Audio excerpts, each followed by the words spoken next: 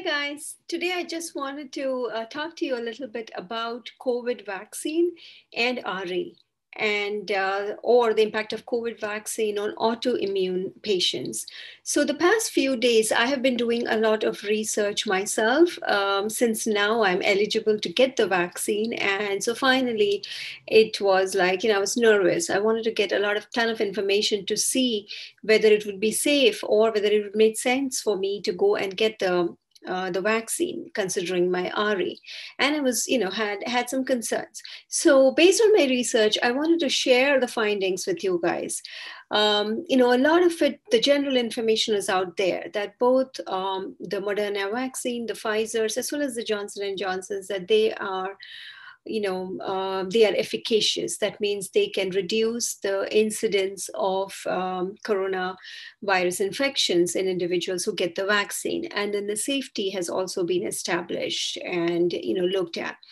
But what uh, is really not known is about uh, how much um, uh, or what kind of impact uh, it has on people with autoimmune conditions, and if there are any uh, special things that people need to follow or, or, pay attention to if they have an autoimmune disease. So those are the things that I'm going to quickly touch uh, touch upon.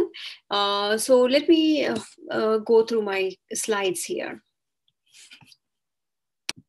So as I was saying regarding the efficacy of vaccines, both Pfizer, Moderna have shown high efficacy in around 95%, 94%, doesn't matter. Both are supposed to be in, both have shown a lot of effectiveness.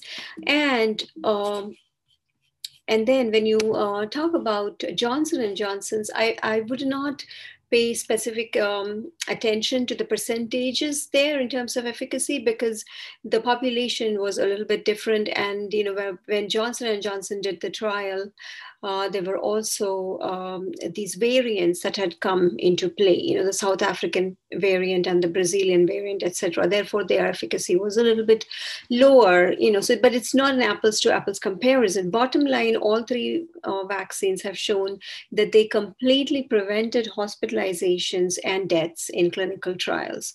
So that's a very important um, reason, you know, for uh, all of us to be getting a vaccine because it has shown that it can prevent hospitalization hospitalization and, and deaths. The other thing uh, is in terms of how long will immunity last.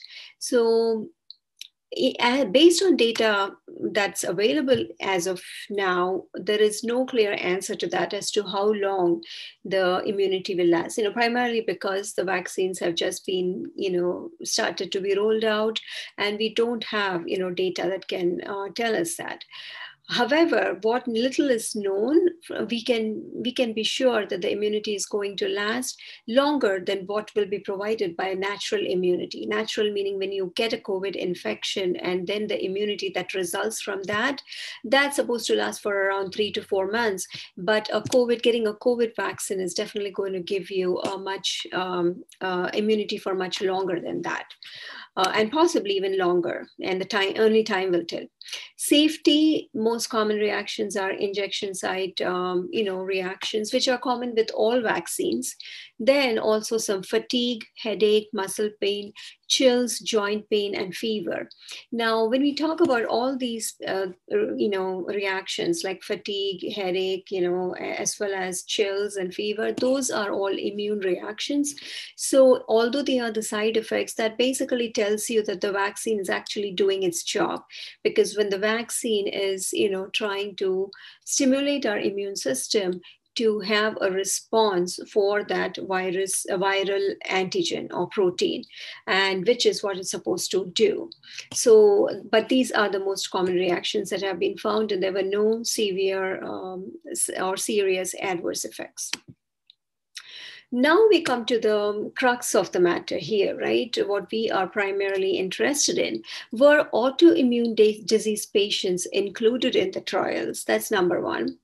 Now, in general, for all uh, vaccine trials uh, and a lot of other you know, drug trials too, immunocompromised patients, which means patients who have autoimmune disease and who are also taking an auto uh, an immunosuppressant medication so that they can you know, limit the flares. So people who are taking immunosuppressants, their are immuno, immune system is suppressed, right? And those people are in general excluded from vaccine trials because they will not give an accurate um, um, endpoint, you know, in terms of um, efficacy of the vaccine because their immune system is weak to begin with. That's why they are excluded. Now, so that's actually not a great thing for people like us, right, who have autoimmune disease. And now we are trying to find out if this vaccine was going to be number one, useful to us, and number two, is it even safe for us? So, one thing we can um, get, or what I found out from the studies, was that there were some people uh, with autoimmune diseases who were not on an immunosuppressant medication. For example, people with Hashimoto's thyroiditis, who, you know, sometimes uh, they don't, they most of the times they don't need to be on on an immunosuppressant medication. So they were in the trial.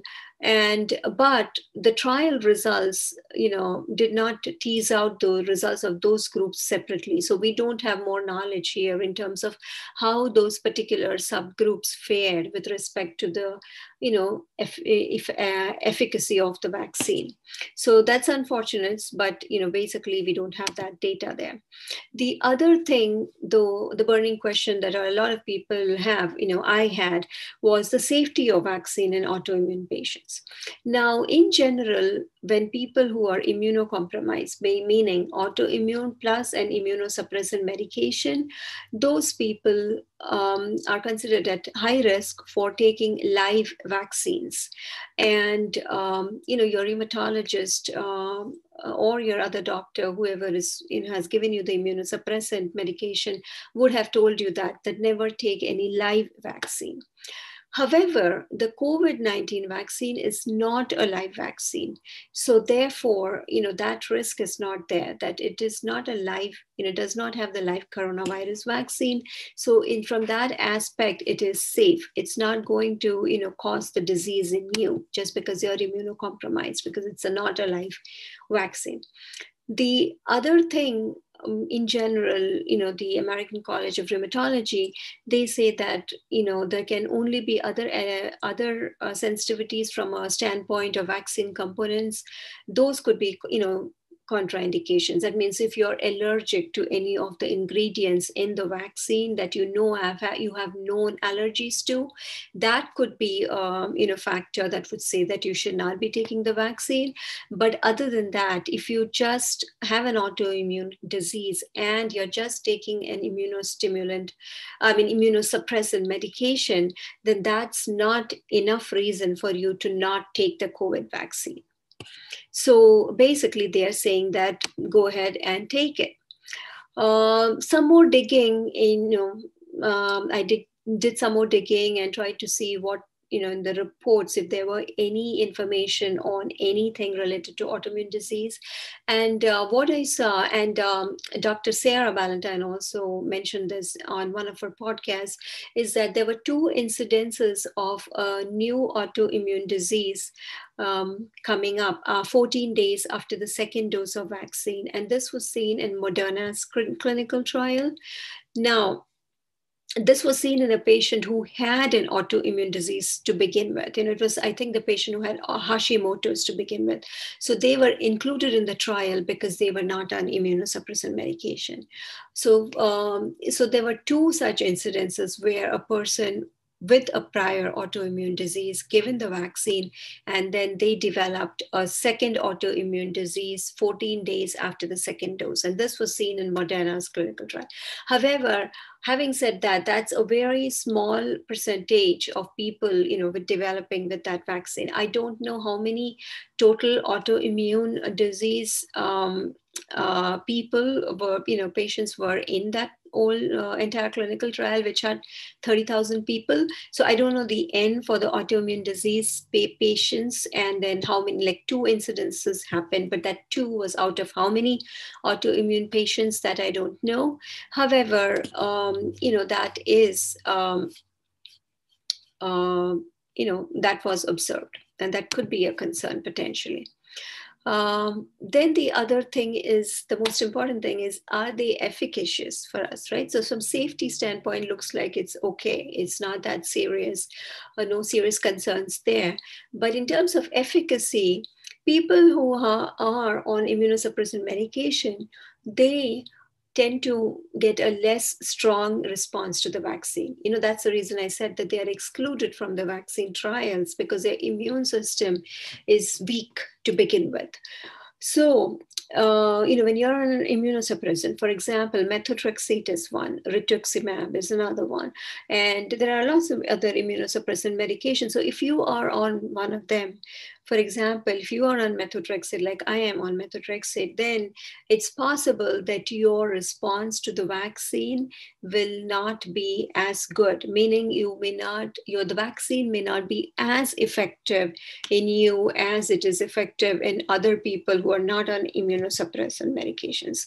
And this is based on, you know, um, the results from a study that was done a few years ago or many years ago, where they looked at patients who were taking methotrexate and who were given the flu vaccine. And then they, you know, um, followed these people to see how many of them actually ended up getting the flu you know despite taking the flu vaccine. And they were you know obviously compared to control population and things like that. But based on that study it was seen that people who take methotrexate or any other immunosuppressant in general have a lower um, you know response to vaccines meaning they don't uh, really the vaccines are not very useful to them so that is a valid concern here for all of us who are on immunosuppressant medication.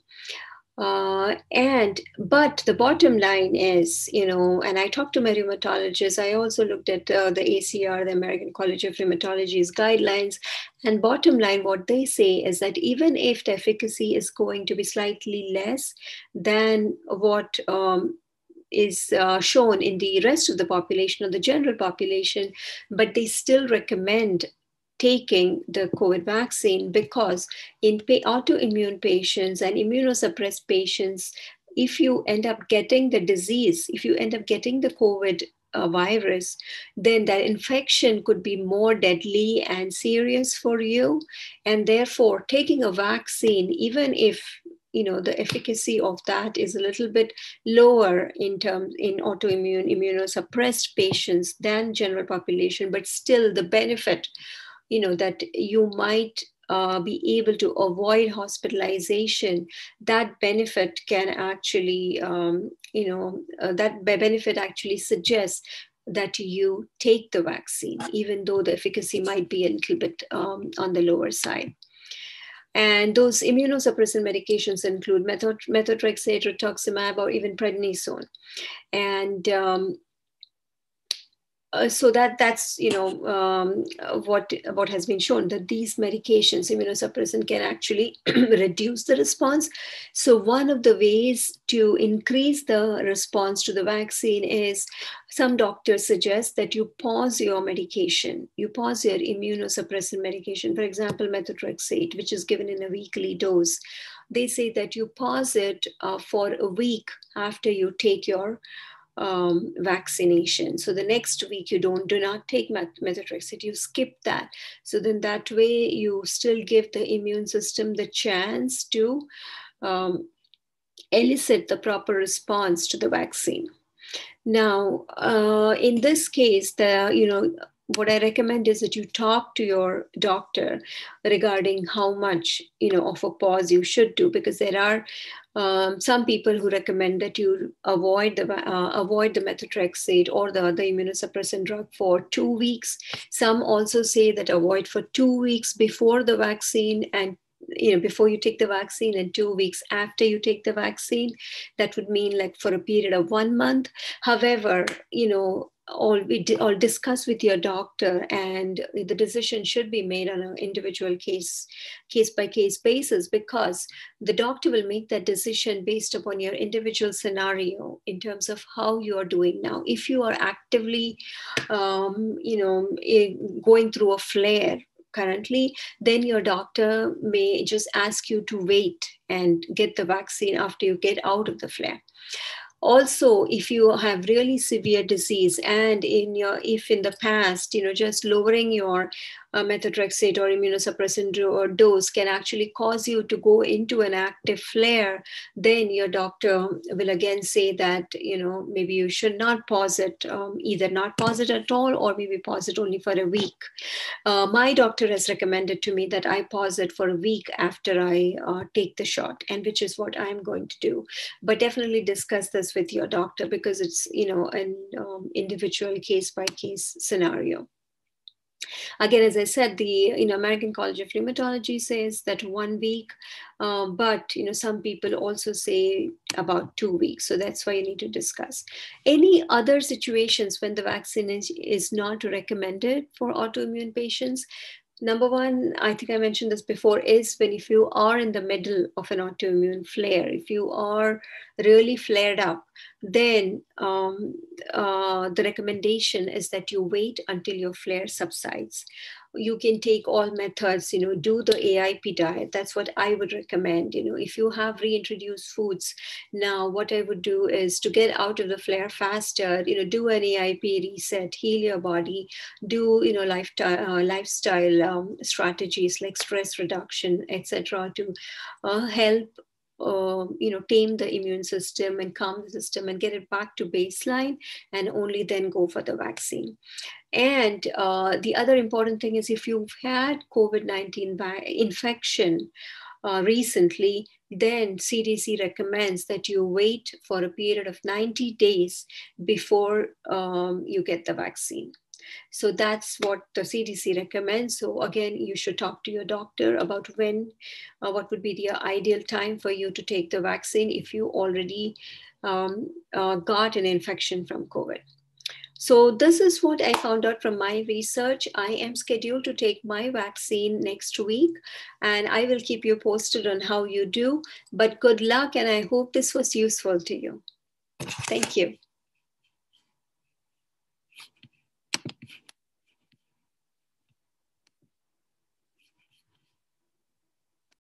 I will place some of the references that I use for this presentation in the description box below. Please discuss with your doctor before you make any health related decisions.